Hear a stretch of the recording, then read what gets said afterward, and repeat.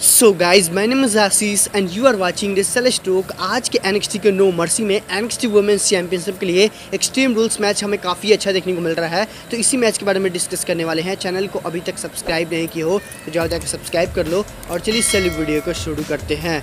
Well guys जैसा कि आपको पता होगा कि राइट नाउ अभी हमें आज के एनएक्सटी के नो मर्सी में एनएक्सटी वुमेन्स चैंपियनशिप के लिए Tiffany Stratton versus Becky Lynch का मैच देखने को मिल रहा है, जहाँ पे बेकी लिंच अपने एनएक्सटी वुमेन्स चैंपियनशिप को डिफेंड कर रही हैं। और ये वाला मैच हमें नॉर्मल सा मैच नहीं, बल्कि एक्सट्रीम रूल्स मैच देखने को मिल रहा है। यानी कि गाइज़ इस वाले मैच में सभी हथियारे का यूज़ हो सकता है और राइट नाउ अभी कैंडो स्टोक का यूज़ भी हो रहा है। यानी कि राइट नाउ अभी कैंडो स्टिक का यूज़ भी हो रहा है। एक्सट्रीम रूल्स का मैच का मतलब ये है कि कुछ भी चीज़ों को आप लोग यूज़ कर सकते हो, जैसे कि kendo stick steel chairs tables and काफ़ी सारी चीज़ों को आप यूज़ कर सकते हो इस वाले मैच में।